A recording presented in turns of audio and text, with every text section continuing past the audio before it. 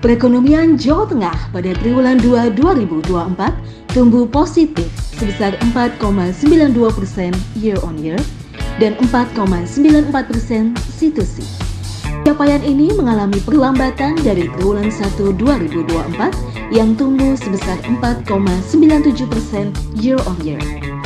Dari sisi produksi, pertumbuhan tertinggi dicapai oleh lapangan usaha penyediaan akomodasi dan makan minum dengan capaian sebesar 11,43 persen year on year. Selain itu, lapangan usaha jasa perusahaan juga mencatatkan capaian sebesar 9,97 persen year on year, diikuti lapangan usaha informasi dan komunikasi sebesar 8,97 persen year on year.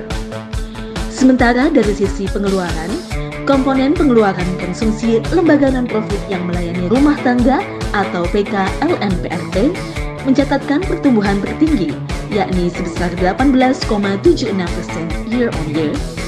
Selain komponen PKLNPRT, komponen impor juga mencatatkan pertumbuhan positif sebesar 12,39 persen year on year, diikuti komponen ekspor sebesar 8,78 persen year on year. Rilis Berita Resmi Statistik Pertumbuhan Ekonomi Provinsi Jawa Tengah triwulan 2 2024 disampaikan oleh Kepala BPS Provinsi Jawa Tengah Endang Triwahyuningsih dan dihadiri oleh perwakilan Bank Indonesia, dinas atau instansi, dan media.